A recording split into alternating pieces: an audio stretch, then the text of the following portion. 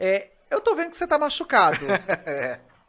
Foi justamente por conta do esporte? Foi, foi. É raro me machucar, mas eu, eu bati o dedinho ali no, no, Ah. no pescoço do cavalo e luxei. Ontem eu fui no médico, ainda bem que não quebrou, foi uma luxação. Daqui a uns dias estou de volta aí. Faz parte, né? Esporte de alto, alto rendimento, vem algumas lesões aí. Quantas vezes você já, já se Não, de machucou? lesão de eu me machucar, uma, uma que eu, que eu caí, não foi nem nem competindo, nada, Aham. eu caí de mau jeito e quebrei o ombro.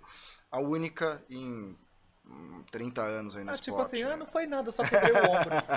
Aconteceu, mas é, é pô, pergunta pro, pro monte de atleta aí de outras modalidades aí, É. que, qu- quanta cirurgia no joelho, quantas outras coisas acontecem. Quando você chega em casa, ou quando você liga ó, pra, pra sua esposa, ó, quebrei o ombro, ou quebrei o braço. Meu Deus, não tem um medo assim, né? Elas não Ah, ficam pô, Não Em fica, geral, né? as pessoas ficam preocupadas. E Eu, não, e faz parte, né? Eu- Então a gente fica nervoso e preocupado sempre. Mas, é, mas Aham. tá acostumado.